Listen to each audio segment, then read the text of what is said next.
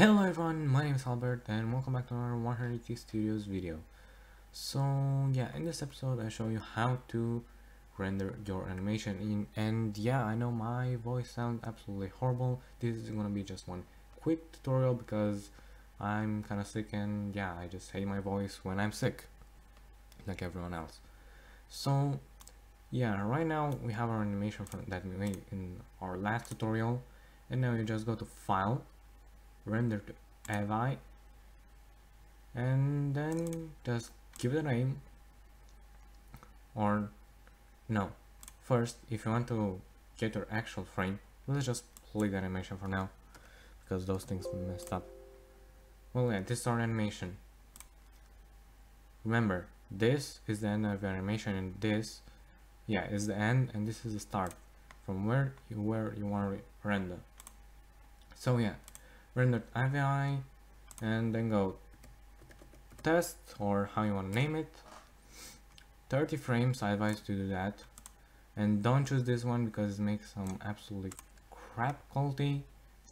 Yeah it's, it's rendering pretty fast but for now we're gonna go render test to go and I use this one. It gives you nice quality and also it makes it look good even though it's simply even slower.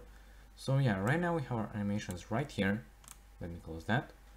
So yeah the first one that is rendered with that AVI raw codec kind of thing it should look like this.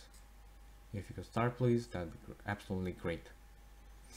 Well yeah it should look something like this. Yeah I know it's just looking horrible but this is why I advise you to do this to use that M MJ file codec kind of thing. God damn it. So yeah this is what you should get. It's looking way better than before. And yeah even though it's lower and yeah excuse me for that. Sometimes that happens for I don't know what reason. And yeah right now uh, you should also if you want to render in your screen resolution just uh, go at whatismyscreenresolution.com and put your screen resolution this is mine and go to view screen size and then put your resolution and you should get the same quality. So yeah. I was Albert from 180 Studios. Thank you for watching. Bye